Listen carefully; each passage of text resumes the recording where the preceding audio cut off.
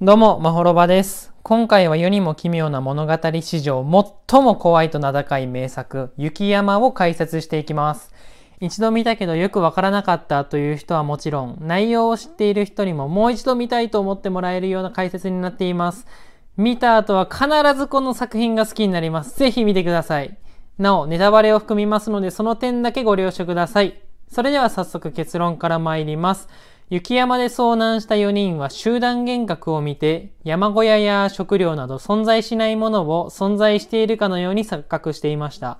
そしてミサは他の3人を殺害しました。続いて理由を説明します。集団的な幻覚を見ていたのは4人が事故によって極端に体力を消耗していたことと低体温症の影響です。殺人の理由はマリという親友を殺した結城と見殺しにしても開き直る山内真鍋への恨みをミサが持っていたからだと考えています。この作品は2001年に公開された世にも奇妙な物語映画の特別編の中の一つです。あまりのショッキングな恐怖描写ゆえにテレビでは放送できなかったと言われている作品です。2015年に行われた一番好きな奇妙作品大募集では12位にランクインするなど非常に人気の高い作品です。その衝撃的な内容から世にも奇妙な物語の歴史上最も怖い作品として有名です。それではあらすじに入ります。ある日飛行機が墜落、雪山に不時着します。生き残ったのはミサとその友人マリ、カメラマンの結城、医師の真鍋、そして中年の男性山内のわずか5人だけでした。このままだと救助隊が来る前に全員が投資してしまうのは間違いありません。5人は近くにあるという山小屋へ向かおうとしますが、事故で足に怪我を負ったマリは歩くことができませんでした。マリを背負って移動する途中で力尽きてしまった4人は、後で戻ってくると言って、マリを雪の中に埋め先に進みます。しばらく歩き続けると、やがて雪山の中に山小屋が姿を現しました。ほどなくしてミサと結城がマリを助けに雪山へ戻ります。結城が雪に埋まっているマリを掘り起こそうとしますが、スコップが首に刺さり死んでしまいます。怖くなった二人は山小屋に駆け戻ります。やがて4人は睡魔に襲われますが、この状況で眠ってしまったら全員が投資してしまいます。そこで真鍋がある提案をします。それは、一人が起きて見張り役をし、他の三人は寝る。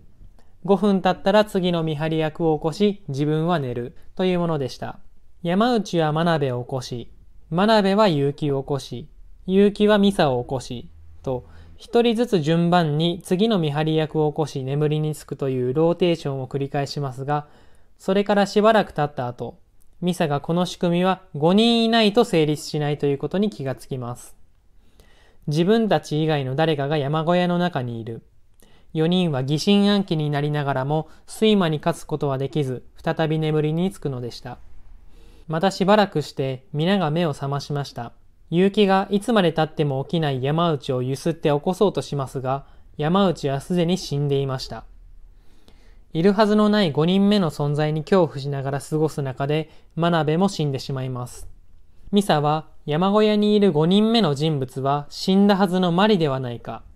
見殺しにした恨みから自分たちを殺そうとしているのではないかと疑うようになります。生き残ったのはミサと結城の2人だけになりました。結城は俺たちが生きた証を残そうと言ってビデオカメラを自分たちの前に設置し二人は眠りにつきました。ふと目が覚めたミサが隣の結城を見ると彼の背中には斧が突き刺さっていました。反響欄になりながらも何が起きたのかを確かめるためミサは震えながらビデオを再生します。そこに映っていたのは白い服の女が結城に斧を振り下ろす瞬間でした。その白い服は死んだマリのものでした。3人の殺人はやはりマリの仕業だったのだとミサは考えます。しかしその直後にミサは自分がくるまっていた毛布の下に白い服を着ていることに気がつきます。左手には身に覚えのない血液が付着していました。自分が結城を殺してしまったのだろうか。ミサは混乱します。その直後、救助隊の声でミサは我に返ります。周りを見渡すと自分がいたはずの山小屋はどこかへ消えていて4人の死体が自分の周りに転がっています。救助隊は放心状態のミサに名前を尋ねますが、とうとう彼女は自分の名前を答えることができませんでした。それでは一つ目の具体例に入ります。雪山に不時着した飛行機の生存者は、ミサとマリ、山内、結城、真鍋の5人でした。道中でマリを雪に埋めて、4人は山小屋の中へと入ります。幸運なことに、その山小屋には、ストーブや食料、毛布までが揃っていました。しかし物語のラストで一人生き残ったミサが救助隊に手をつかまれ我に帰った時、今までいたはずの山小屋は跡形もなくなくなっていて、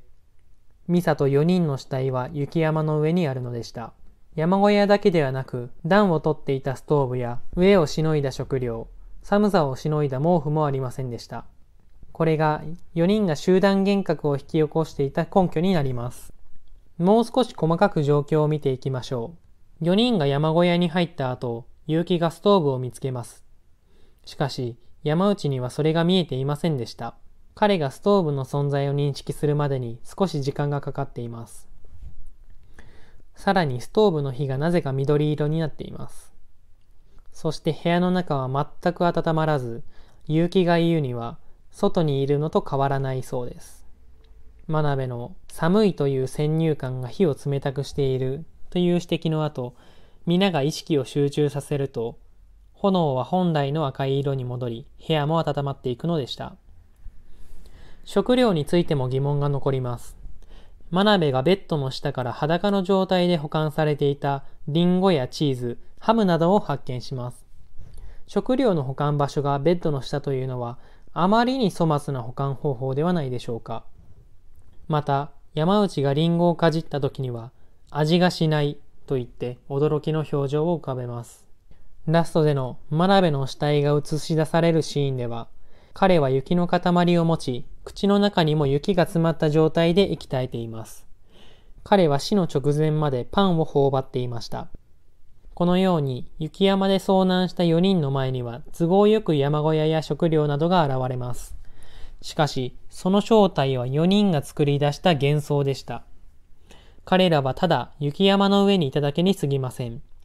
ストーブに火をつけたと錯覚していましたが、実際は雪山の上で衣類を燃やしているだけでした。これでは温まるはずもありません。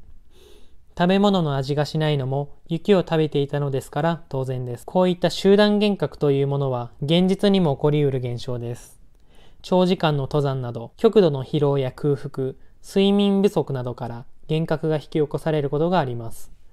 そういう時に見える幻覚は、大抵その人にとっての希望的な風景や人物であることが多いそうです。例えば、あるはずのない小屋に向かって歩いていくと、実際はただの木だったり、車の音が聞こえて道路があると思ったら、川が流れていただけだったりするそうです。このように、雪山で遭難した4人も、疲労と低体温症によって集団的な幻覚を見ていたのではないかと考えられます。何もない雪山での絶望的な状況で自分たちを安心させるために幻覚が自分たちの求めているものを作り出していたのです。続いて二つ目の具体例に移ります。雪山での遭難によって山小屋の中で一夜を過ごすことになった4人ですが、最終的にはミサ1人が生き残り、山内、真鍋、結城の3人は死んでしまいます。私はミサがこの3人を殺害したのではないかと考えています。結城はビデオに残された映像から白い服を着た女によって斧で殺害されていたことがわかります。この白い服は死んだマリのものですが、その後ミサが着ていることがわかります。ミサがなぜマリの白い服を着ていたのかは後で説明するとしますが、これらからミサが結城を殺害していたということがわかります。しかし残りの二人、山内と真鍋もミサが殺害したのでしょうかその根拠となるのが首筋の傷です。二人の死体の首元には二つの小さな傷があり、そこから血が流れていました。物語の終盤で、ミサの左中指と薬指に血液が付着していることが明らかになります。これらから山内と真鍋もミサによって殺害されたということがわかります。さらにミサが犯人であることを決定づける証拠があります。それは4人を睡魔が襲った時に真鍋が提案したルールです。それは1人が起きて見張り役をし、他の3人は寝る。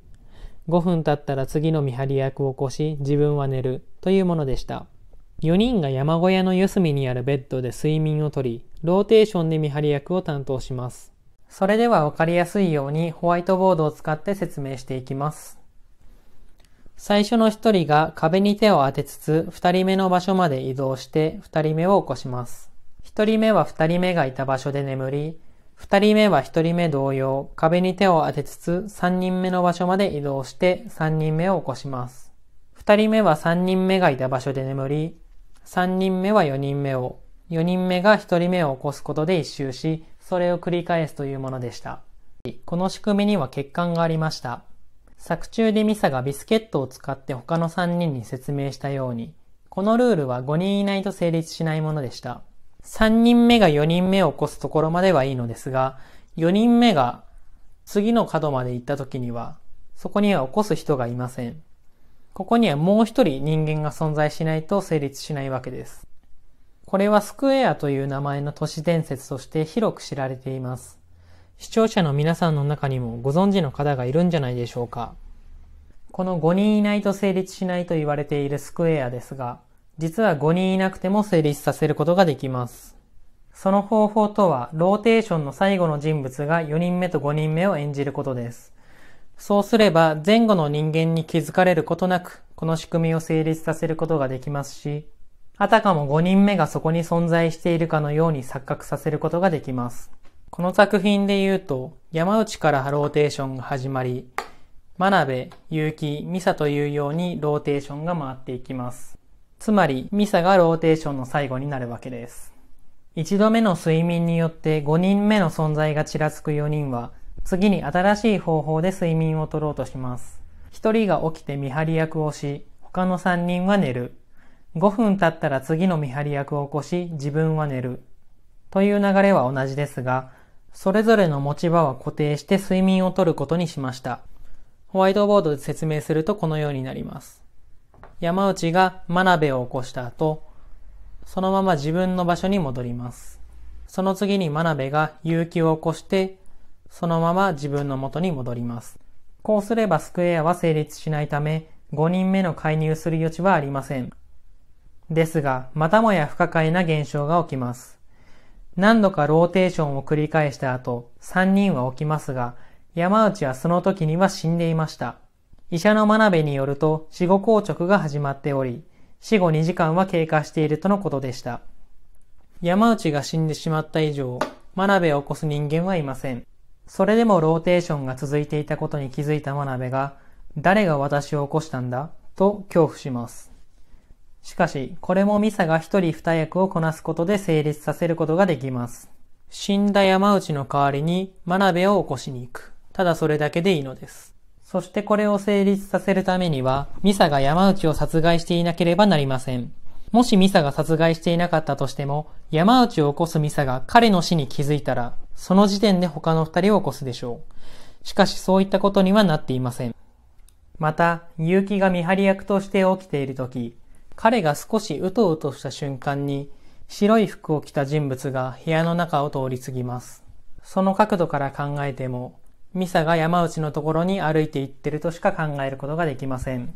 それでは3つ目の具体例に入ります。2つ目の具体例から、ミサが3人の殺害に関与していたことはほぼ確実だと言えるでしょ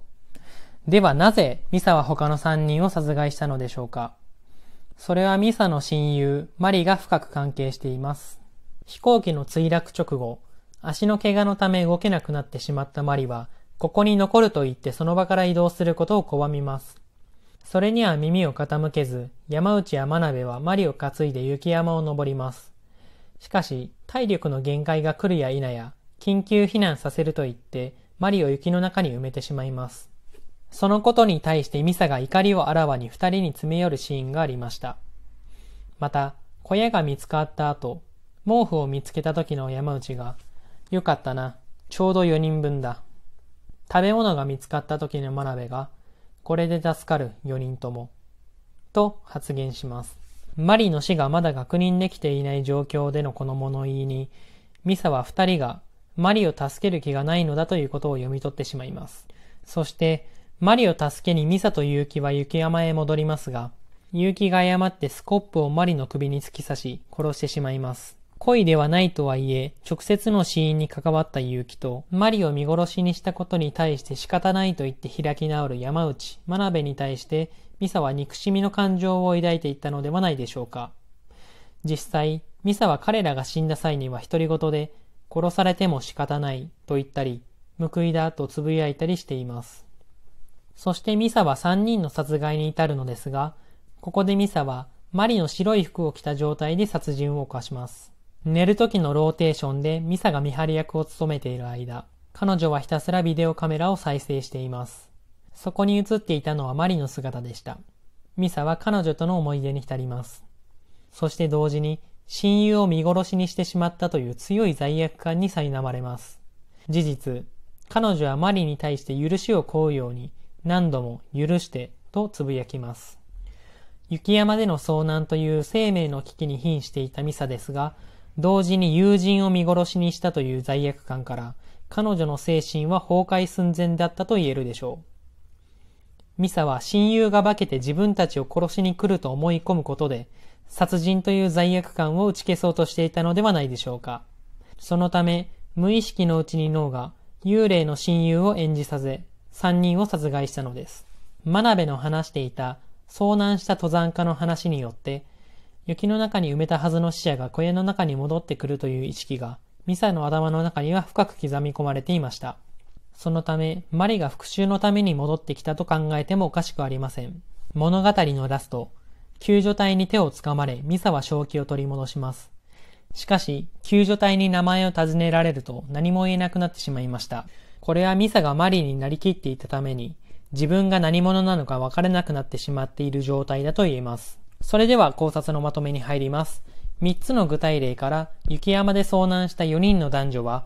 極度の疲労と空腹などから集団幻覚を引き起こしていたということ。そして、マリという親友を殺した結城と、見殺しにしても開き直る山内真鍋への恨みから、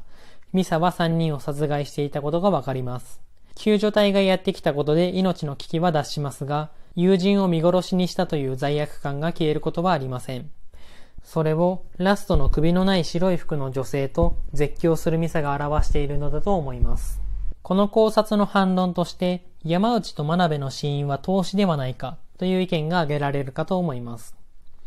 今回はミサが殺害したという考察になりましたが、私は投資の可能性もゼロではないと考えています。